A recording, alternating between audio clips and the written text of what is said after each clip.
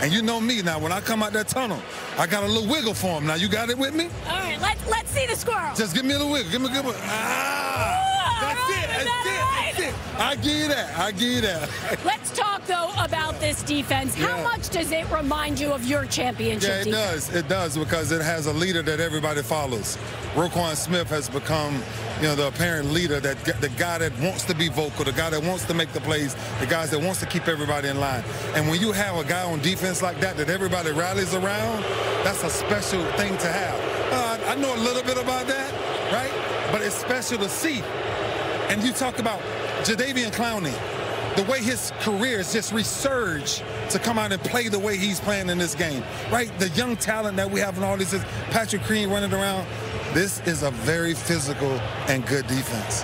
I'm excited to see it. Well, we talked about it in terms of you and being the leader of your defense. You were the guy who gave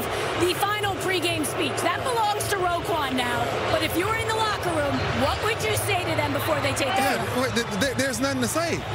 No, Tracy, like sometimes I give these speeches, but when I look at them like, bruh, you have, there's no other option, right? Like, not right now. I don't need nothing else. I don't need what's in your text. I don't need what's home. I need to give, I need you to give me everything you got right now. That's I have those instincts. I kind of want to just go rush the passer Yeah. right now. But that's those things you have to do in big games like this. Just like on the other side, they have to be very lane efficient to make sure they take care of Yep. Lamar.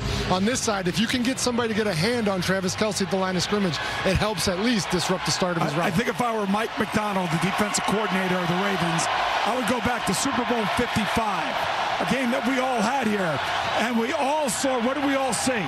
We all saw the Tampa Bay Buccaneers defense shut down that offense of the Kansas City Chiefs and force them to three field goals. And I'll tell you what, when you look at the owner, Steve Bisciotti, hugging, uh, hugging Lamar Jackson before the game, that tells you all you need to know about this organization. Well, let me just say- owner of this football team, who is as underappreciated or under, I guess, stated as anybody in the NFL. Oh, no, be clear. He is appreciated. He's just one of the quietest. He doesn't seek the camera nor the spotlight, but he gets it and he hires the right people. And that staff has been in place for a long time, and I commend him for that. This this stadium, all we're just with Roquan Smith.